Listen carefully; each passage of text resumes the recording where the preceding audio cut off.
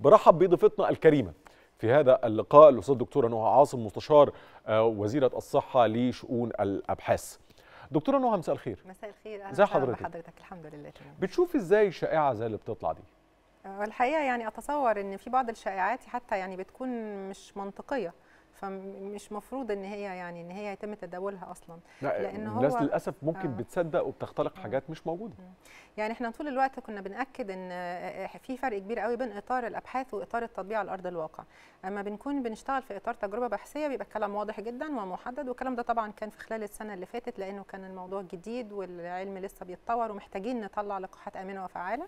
فكمثال مثلا تجربة ساينوفارم مصر شاركت فيها تجربة دولية كبيرة الحقيقة شاركت فيها ب 3000 مشارك وساعتها كان واضح جدا إن دي مشاركة وإن ليها بقى كل الشروط والضوابط من حقك تشترك من حقك ترفض في استمارة موافقة بنقراها آه، تفاصيل وضوابط كتيرة جدا. لكن وانس قررنا إنه خلاص في معلومات كافية إنه اللقاحات تبقى موجودة ومطروحة آه، للمجتمع آه، لأن إحنا عندنا كمجتمع علمي بقى آه، دليل علمي كافي خلاص اكتفينا من مرحلة الأبحاث. إحنا دلوقتي في مرحلة ترخيص الطوارئ آه، والتلقيح الفعلي للمواطنين.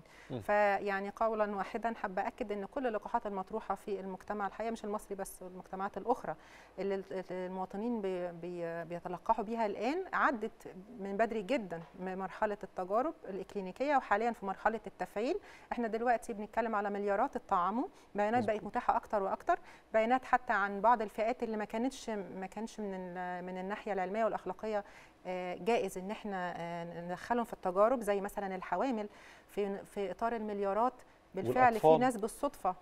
بالصدفة اكتشفت مثلا واحدة طعمت واكتشفت بالصدفة إنها آه. حامل بعدها في أي دولة بتبدأ تريبورت فحتى بقى عندنا بيانات عن كل التفاصيل دي في. نطاق التجارب الفعلية والواقعية على أرض